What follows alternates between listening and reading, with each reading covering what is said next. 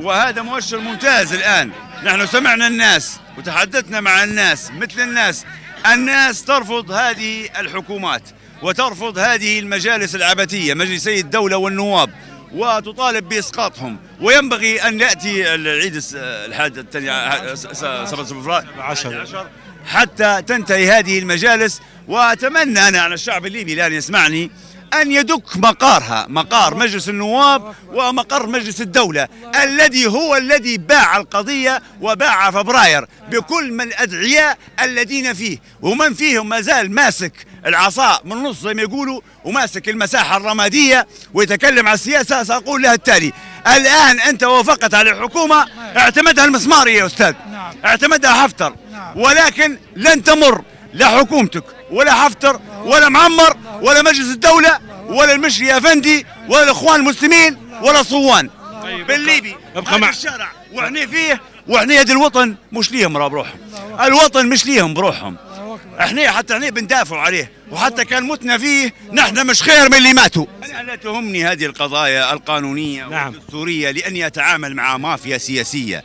لا تلتزم بعهد ولا ميثاق لها ولا مبدأ ولا قضية. وبالتالي هذا النقاش أصبح عبثي أن نناقشهم قانونيا والمادة سبعة والإعلان الدستوري والمادة 30 هم استغلوا هذا النقاش السياسي المسؤول منا طيلة شهور ليمرروا هذه المؤامرة المصرية الإماراتية الفرنسية. واستطاعوا أن يدجنوا مجلس الدولة برئيسه المجري ويأتوا به ليصنعوا معه حكومة لتقاسم سلطة. نحن نريد دولة لسنا معنيين بالسلطة. السلطة هو الشعب مصدرها هو مصدر السلطات.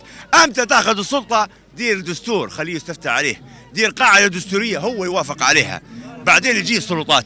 أما هذا المشروع اللي قدامنا هو مشروع امتلاك للسلطة واحتكار. أصبح لدينا مجلس نواب عشر سنوات مجلس دولة ثمان سنوات الآن جابوا لك الضلع الثالث. جابوا لكم حكومة بتقعد سنوات. هذا هو المشروع اللي مصمم الآن.